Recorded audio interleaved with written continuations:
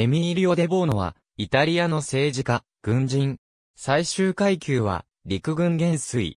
1866年3月19日、イタリア王国の北部に位置するロンバルディア州の要衝、カッサーノダッダにジョバンニ・デボーノの子として生まれる。デボーノ家は爵位こそ持たなかったものの、バルラッシーナ白化の血を引く由緒ある家柄であった。トゥリエ軍事アカデミー、モデナ陸軍士官学校を経て参謀畑を歩んだ。1911年、井戸戦争に陸軍将校として従軍している。1916年、第一次世界大戦では、参謀本部を離れて、前線指揮に加わり、シチリア島で動員された第20不評旅団、トラパニを指揮した。翌年に、第38師団の師団長に昇格、さらに、大戦末期のビットリオ・ベネトの戦いで、第9軍団司令官を務めた。大戦での活躍で、ビットリオ・エマヌエーレ3世から、サボイア軍事勲章及び聖マウリッツヨ・ラザロ勲章を授与され、陸軍中将にまで昇進を果たした。1920年、戦後の人事に不満を持って、軍を退役すると政界に意欲を示して、保守政党に接近していたが、やがて退役軍人を支持基盤とする急進政党の国家ファシスト党と協力関係を結んだ。指導者ベニート・ムッソリーニからは、党軍事部門である黒シャツ隊の司令官に任命され、退役軍人の貢献役を務めた。党内では、他の幹部より抜きんでた存在として、イタロ・バルボラと党4人間と呼ばれるようになり、1922年のローマ新軍でも他の4人間と陣頭指揮を取った。1922年、ムッソリーニが連立政権を樹立すると、警察長官に任命されて、民兵と警察組織を使った治安維持に従事した。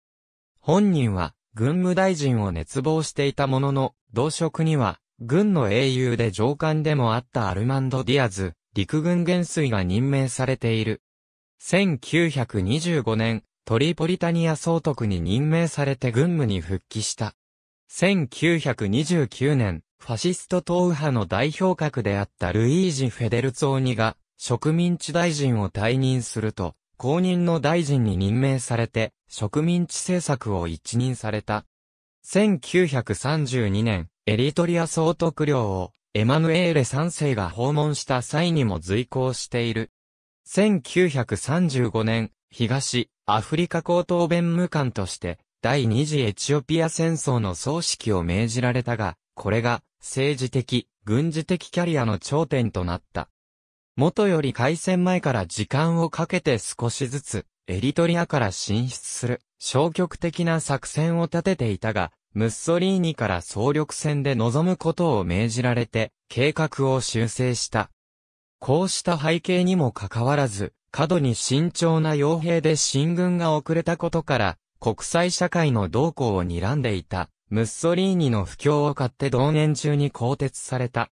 第一方面軍、第二方面軍、エリトリア植民地軍からなる、遠征軍の指揮権は、ピエトロ・バドリオ元帥が引き継いだ。戦勝の栄誉もバドリオに奪われ、自身は、ロドルフォ・グラツィアーニ陸軍大将と元帥に、昇進するに止まった。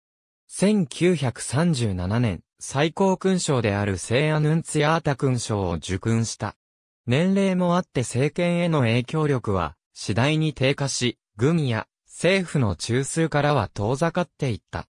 バドリオは新たに成立した東アフリカ帝国の副王職を与えられ、バドリオが副王職を辞した後もグラツィアーニが任命された。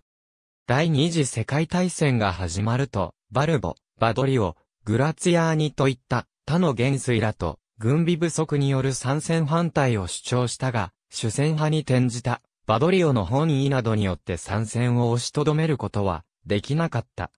大戦中は主に本土の守備司令官を務めていたが、1943年7月25日のファシズム代表議会で、ムッソリーニ首相解任動議に賛成して、実質的にバドリオによる軍事クーデターを後押しした。